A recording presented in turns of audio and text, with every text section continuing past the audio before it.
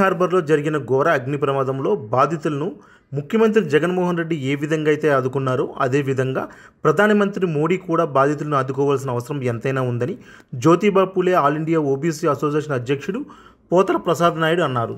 ప్రమాదం గురించి తెలిసిన వెంటనే ఢిల్లీ నుంచి హుటాహుటిన బయలుదేరి విశాఖ చేరుకున్న ఆయన ప్రమాద స్థలాన్ని పరిశీలించారు. ఈ సందర్భంగా ఆయన మీడియాతో మాట్లాడుతూ సుమారు యాభై బోట్లు దగ్ధమవడం వల్ల ఆరు వందల మంది మత్స్యకార కుటుంబాలు రోడ్డున పడ్డాయని రెక్కాడితే గాని డొక్కాడని పరిస్థితుల మధ్యలో జీవనం కొనసాగిస్తున్న మత్స్యకారులు ఈ ప్రమాదం వలన వారి జీవన ప్రమాణాలు మరింత దిగజారుతాయని ఆయన ఆవేదన వ్యక్తం చేశారు. ప్రమాదం జరిగిన వెంటనే స్థానిక పోలీసులు మరియు అగ్నిమాపక సిబ్బంది తక్షణం స్పందించి తీవ్రంగా శ్రమించి మంటలను అదుపడం చేయడం వల్ల ప్రమాద తీవ్రత కొంచెం తగ్గిందని పక్కనే హెచ్పిసిఎల్ ట్యాంకర్లు ఇండియన్ ఆయిల్ ట్యాంకర్లు ఉండడం వాటికి మంటలు అంటుకొని ఉంటే మరింత ఘోర ప్రమాదం చవిచూడాల్సి వచ్చేదని ఆయన అన్నారు.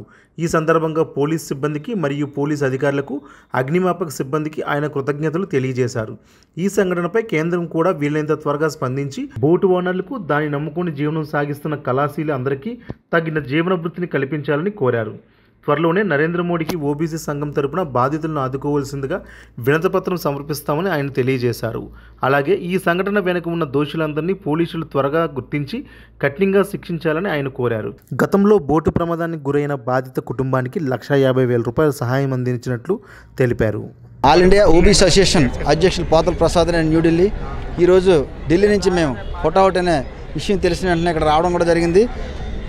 చాలా బాధాకరమైన విషయం. ఈరోజు విశాఖలో ఇలా జరగడం ఈరోజు ప్రశాంతంగా ఉన్నటువంటి విశాఖలో అరవై బోట్ల వరకు కాలడం చాలా బాధాకరమైన విషయం. గతంలో మేము మత్స్యకారులు ఆ రోజు బోట్లో చనిపోతే లక్ష యాభై వేలు మేము గతంలో అక్కడ ఫిషర్మ్యాన్ ఏరియా తీసుకొచ్చి ఇవ్వడం కూడా జరిగింది గతంలో. అప్పుడు ఎమ్మెల్యే గారు లోకల్ ఎమ్మెల్యే గారు పదివేలు ఇచ్చారు ఎంపీ గారు పదివేలు ఇచ్చారు. మేము నేరుగా విజయసాయిరెడ్డి గారి ఆదేశాల మేరకు ఢిల్లీ నుంచి తీసుకొని వచ్చి మేము లక్ష యాభై వేల రూపాయలు కూడా ఇక్కడ వీరికి ఇవ్వడం కూడా జరిగింది. మా బీసీలకి చాలా అన్యాయం జరుగుతుంది. ఎక్కడైనా సరే ఈ విషయంలో ముఖ్యమంత్రి గారు స్పందించి తక్షణమే ఎయిటీ పర్సెంటేజ్ ముఖ్యమంత్రి గారు ఇమీడియట్లీగా శాంక్షన్ చేసినందుకు మన ముఖ్యమంత్రి జగన్మోహన్ రెడ్డి గారికి మేము ఆల్ ఇండియా ఓబీ అసోసియేషన్ తరఫున ప్రత్యేకమైనటువంటి ధన్యవాదాలు తెలియజేస్తున్నాం.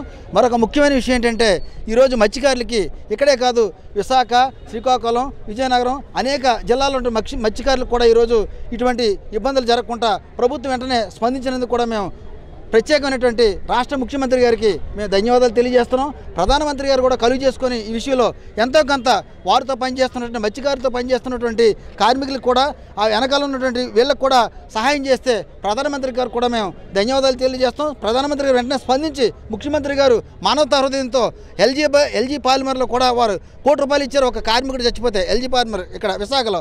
అదేవిధంగా మత్స్యకారులు కూడా ఎయిటీ పర్సెంట్ ఇచ్చినందుకు ఈ మన జగన్మోహన్ రెడ్డి గారికి ప్రత్యేకమైనటువంటి ధన్యవాదాలు. మా బీసీలు మొత్తం కూడా తెలియజేస్తున్నాం. మరొక ముఖ్యమైన ఉద్దేశం ఏంటంటే విశాఖలో ప్రశాంతమైనటువంటి విశాఖ ఇటువంటి తక్ష జరిగిన విషయాన్ని ఇమీడియట్గా ఇక్కడ ఉన్న పోలీసు వారు కానీ ఇక్కడ ఉన్న ప్రభుత్వం కానీ ఎవరు చేశారు? ఏంటి? ఇమీడియట్గా తక్షణమే వాళ్ళ మీద సరైన దర్యాప్తు జరిపించి ఇమీడియట్గా యాక్షన్ తీసుకోవాలని మేము విశాఖ ప్రజల తరపు నుంచి కూడా ఆల్ ఇండియా ఓబీ అసోసియేషన్ తరపున కూడా మేము ఈరోజు ధన్యవాదాలు కూడా తెలియజేయడం జరుగుతుంది. ఫైర్ పోలీస్ వాళ్ళకి ధన్యవాదాలు. మెయిన్ వాళ్ళు రాత్రి అంతా కూడా ఇక్కడ పైరు పోలీస్ వారు విశాఖ పోలీస్ కమిషనర్ గారికి కూడా మేము ధన్యవాదాలు తెలియజేస్తున్నాం.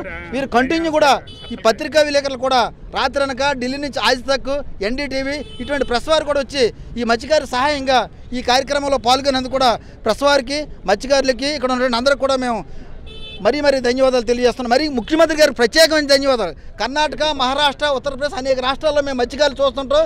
ఏ రాష్ట్రంలో కూడా ఏ ముఖ్యమంత్రి కూడా బీజేపీ తరహా ముఖ్యమంత్రి కానీ కాంగ్రెస్ తరహా ముఖ్యమంత్రి కానీ ఎవరు తక్షణమే స్పందించినటువంటి నాదులు ఎవరు లేరు. ఈ ముఖ్యమంత్రి గారికి ప్రత్యేకమైనటువంటి బీసీల తరపుని మా మత్స్యకారుల తరపుని మేము ప్రత్యేకమైన అభినందనలు కూడా మేము తెలియజేస్తున్నాం.